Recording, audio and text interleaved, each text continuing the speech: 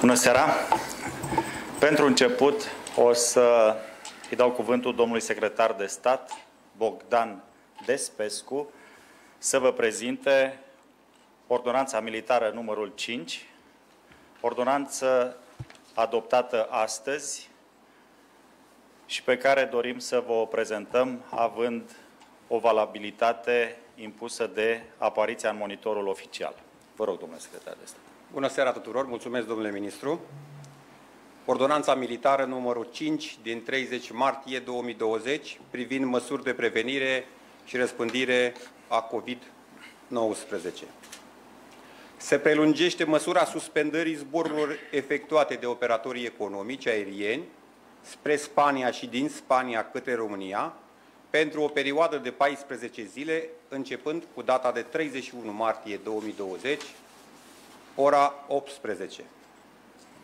Se prelungește măsura suspendării zborurilor efectuate de operatorii economici aerieni spre Italia și din Italia către România pentru o perioadă de 14 zile, începând cu data de 6 aprilie 2020.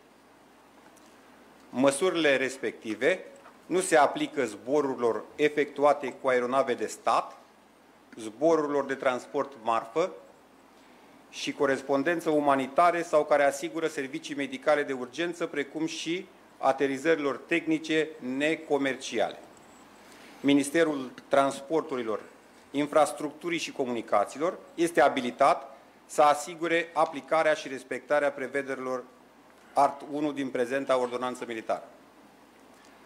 Prin uh, articolul 3 s-a completat articolul 3 din Ordonanța Militară numărul 4 din 2020, respectiv persoanele care părăsesc locul în care au fost carantinate, fără aprobarea autorităților competente, vor fi obligate să reia ciclul de 14 zile de la carantinare, suportând cheltuielile efectuate cu carantinarea și vor răspunde penal conform legii.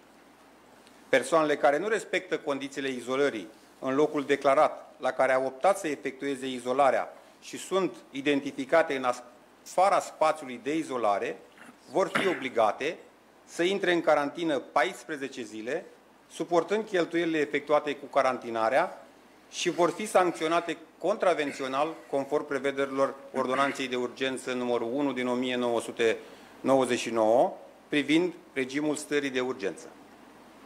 Măsura se aplică începând cu data publicării prezentei ordonanțe în monitorul oficial al României, partea 1. De asemenea, am uh, completat articolul 4 din Ordonanța Militară numărul 4 din 2020, după cum urmează. Prevederile articolului 4 nu se aplică piloților de aeronave și personalului navigant care zboară înspre și dinspre zone aflate sub incidența codului zonă galbenă sau fără risc epidemiologic. Piloților de aeronavă și personalului navigant care zboară înspre și dinspre zone aflate sub incidența codului zonă roșie sau cu risc epidemiologic, care nu coboară din aeronave între zboruri sau poartă echipamente de protecție, respectiv combinezon, mănuși, ochelari, mască, dacă între zboruri coboară din aeronavă.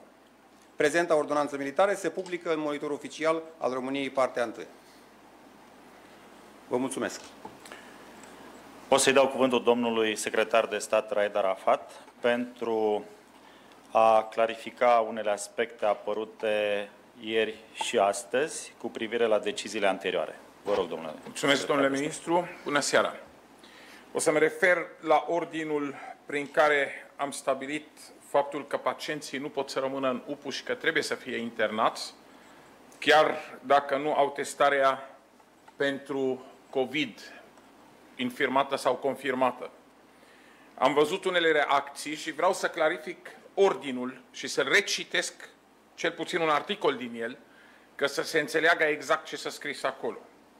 Articolul 1, aliniatul 2, spune pacienții prevăzuți la aliniatul 1 pentru care este necesară spitalizarea sunt internați în secțiile spitalului unde s-au prezentat, asta e prima variantă, în secțiile celorlalte spitale de specialitate conform prevederilor Ordinului Ministrului Sănătății numărul 1091 per 2006 privind aprobarea protocolelor de transfer interclinic al pacientului critic, asta este a doua variantă, sau în spitale nominalizate de către direcțiile de sănătate publică, asta este a treia variantă, care pot să fie și spitalele de suport pentru COVID care sunt anunțate de Ministerul Sănătății. Deci nimeni nu a zis că bolnavul se internează obligatoriu în spitalul respectiv, dar o soluție pentru bolnav trebuie să fie găsită, iar bolnavul, dacă este în stare critică, trebuie să fie tratat, mai ales dacă este altă problemă, vorbim aici. Și aici vorbim de exemplu, cazuri de traumă, care sunt suspicionate să aibă posibil și COVID. Nu poate să aștepte trauma să fie tratată până să termină testul pentru COVID. Deci sunt lucruri de bază care cred că majoritatea colegilor l-au înțeles, dar am vrut să le subliniez și să le explic încă o dată. Deci nu este o forțare de internare a bolnavilor COVID pozitiv în orice spital, ci este o forțare pentru a se lua decizii potrivite stării pacientului pentru a-i salva viața, indiferent care este motivul pentru care el s-a prezentat la spital. Și aici vorbim de urgențe. Al doilea lucru este privind ambulatoriile. Am înțeles că mai multe ambulatorii în spitalele publice au fost închise total. Iarăși mă refer la ordinul care a stabilit sistarea activității elective, se referă acolo la cazurile care pot fi amânate. Dacă sunt cazuri care trebuie să fie tratate, trebuie să se schimbe pansamente, trebuie să se, să se scoată sutur, acest lucru poate fi programat și ordinul lasă această libertate medicului că să decidă. Acum, revenind la situația generală în țară, raportul Centrului Național de Conducere și Coordonare a Intervenției de la ora 20 ne arată că sunt la acest moment 2109 cazuri confirmate în țară, 65 de decese care sunt cauzate de COVID-19, iar aici vreau să subliniez situația deosebită în care se află localitatea sau municipiul Suceavă. Din cele 2109 cazuri confirmate, 593 se află în municipiul Suceavă. Deci, în urma analizei realizate de Institutul Național de Sănătate Publică și în urma discuțiilor care au avut loc în grupul tehnico-științific și cu colegii de la Ministerul Sănătății și cu domnul ministru Tătaru, uh, am considerat cu toți din punct de vedere medical că trebuie luate măsuri suplimentare în zona Sucevei. Și aici am să închei și să ia cuvântul domnul ministru mai departe. Mulțumesc. Dragi români, într-adevăr, este o situație complexă și importantă care trebuie analizată la nivelul întregii țări, dar și punctual pe județele care înregistrează cazuri și probleme dificile. Evoluția cazurilor din județul Suceava, densitatea îmbolnăvirilor, riscul răspândirii infecțiilor. Analiza făcută cu specialiștii în boli infecțioase, cu toți cei care ne desfășurăm activitatea zi și noapte în cadrul Comitetului Național pentru Situații Speciale de Urgență, împreună cu toți factorii implicați, inclusiv alte instituții medicale care pun numărul la rezolvarea unor probleme extrem de importante, toate acestea au făcut ca în această seară să luăm o decizie extrem de importantă. În acest sens, am emis ordonanța militară numărul 6 din 30 martie 2020, privind instituirea măsurii de carantinare asupra municipiului Suceava, a unor comune din zona limitrofă, precum și instituirea unei zone de protecție asupra unor unități administrativ-teritoriale din județul Suceava. Vă dau citire celor mai importante articole pentru a fi recepționate exact așa cum ele au fost dezbătute, analizate, asumate și votate în cadrul Comitetului Național pentru Situații Speciale de Urgență și decise la nivelul conducerii Ministerului Afacerilor Interne. Articolul 1. Se instituie pe perioada stării de urgență măsura de carantinare în municipiul Suceava și în zona limitrofă, formată din următoarele opt comune. Adâncata, Salcea, Ipotești, Bosanci, Moara, Șcheia, Pătrăuți și Mitocu Dragomirnei. Articolul 2.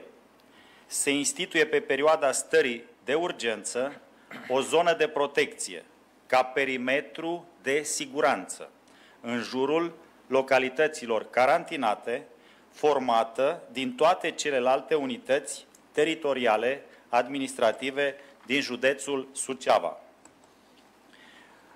Articolul 3. În zona carantinată prevăzută la articolul 1 este permisă intrarea, respectiv ieșirea, pentru a. Transportul de mărfuri, materii prime și resurse necesare desfășurării activităților economice, precum și pentru aprovizionarea populației. B.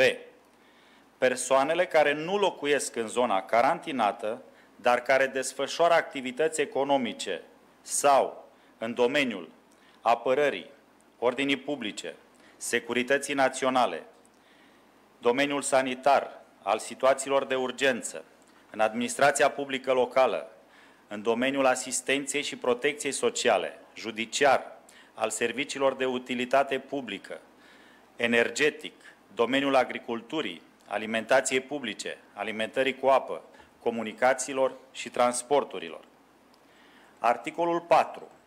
Ministerul Transporturilor, Infrastructurii și Comunicațiilor, precum și operatorii economici din domeniul transportului feroviar de persoane, nu vor comercializa bilete sau abonamente ori alte titluri de călătorie pentru transportul călătorilor în zona carantinată decât dacă sunt respectate dispozițiile articolului 3.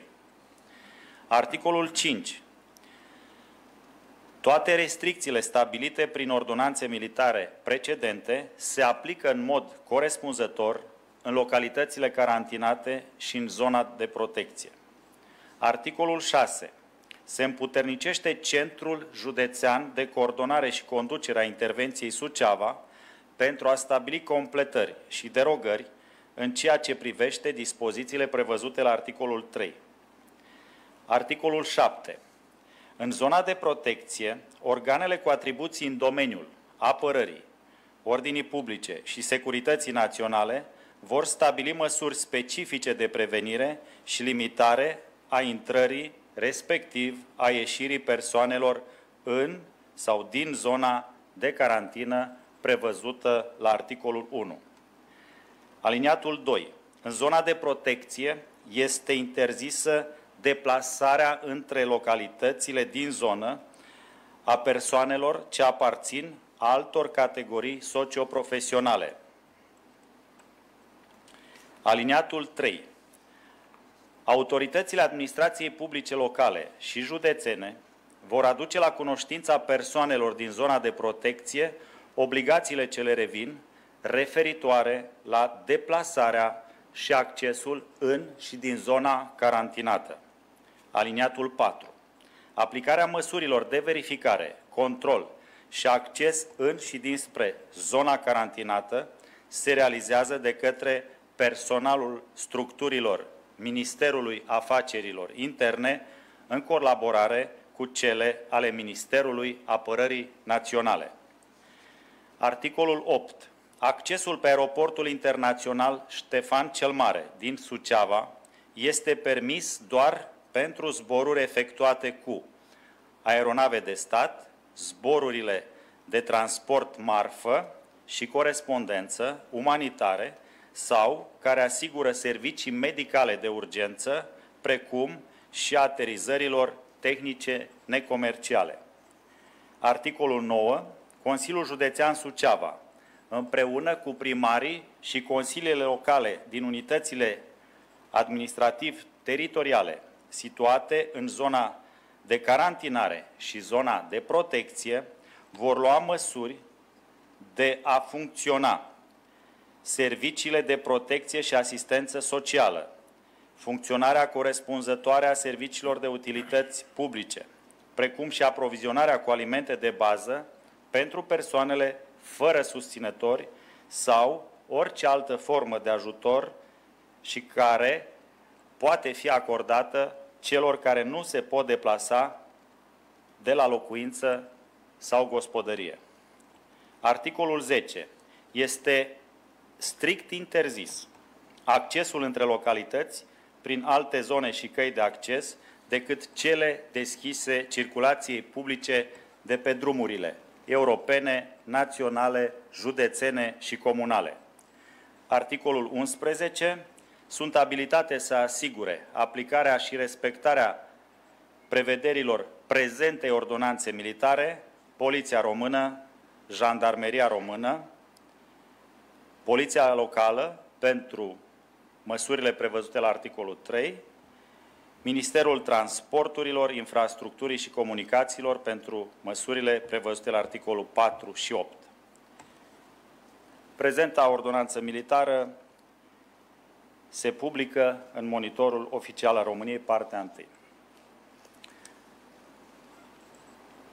Dragi compatrioți, conducerea Ministerului Afacerilor Interne, Guvernul României și cred că sunt în asentimentul tuturor românilor să asigurăm cetățenii din județul Suceava de tot sprijinul și de toată susținerea noastră. Suntem și vom fi împreună. În aceste momente delicate, importante și extrem de grele, unitatea românilor și speranța că vom învinge în această provocare națională și internațională, toate acestea ne vor face mai puternici și mai încrezători că vom învinge. Vă mulțumim!